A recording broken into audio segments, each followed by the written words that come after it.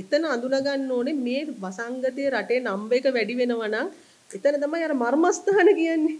මේකට වෛරස් එක දෙන්නේ ගෙවල් වල අයිසොලේටඩ් ලෙඩ්ඩු ඉන්න බව ඇත්ත. ඊට පස්සේ රෝග ලක්ෂණ නැති අය ඉන්නවා. කරියර්ස්ලා විදිහට ඉන්න පුළුවන්. ඒගොල්ලන්ගෙන් එනවා. ඒතර අපි ඒක වළක්වන්න බැරි හින්දා ඔබ්වියස් එක වළක්වන්න නැතු ඉන්න ඕනේ නෑනේ. ඔබ්වියස්ලි තියෙනවා ආ ලෙඩ්ඩු 20ක් ඉන්නවා මේ රෝහලේ. අනිවාර්යෙන් හැම කෙනාම වෛරස් සහිතයිනේ. ඒ කියන්නේ එක මදුරුවෙක් කාලා ගියත් එයා තව එක්කෙනෙකුට කනවා නම් එයා අනිවාර්යෙන් ඩෙන්ගු හදනවා. අනිවාර්යෙන් කියන එක පර්සනල් ෆැක්ටර්ස් එන්න පුළුවන්. නමුත් මෙයා වෛරස් එක ගෙනියනවා. ඒතර අපිට මේකට ફોකස් කරන්න ඕගොල්ලෝ වෙනම කන්සෙප්ට් එකක් විදිහට හැදුවත් මන් ප්‍රශ්නයක් නෑ. අපි මේ කියන්නේ මේකෙන් හැම සතියෙම දුමාය නේද? හැම සතියෙම මොකද්ද කියන එක. නමුත් මට ඕනේ මෙතන තියෙනවා ලොකු ප්‍රශ්නයක්. වෙක්ටර් ඉන්නවා වෛරස් එක ඉන්නවා. ඒතර මේක අපි මේ අනික් තැනක වෙක්ටර් ඉන්නවට වඩා ගොඩක් වෙනස් මෙතන.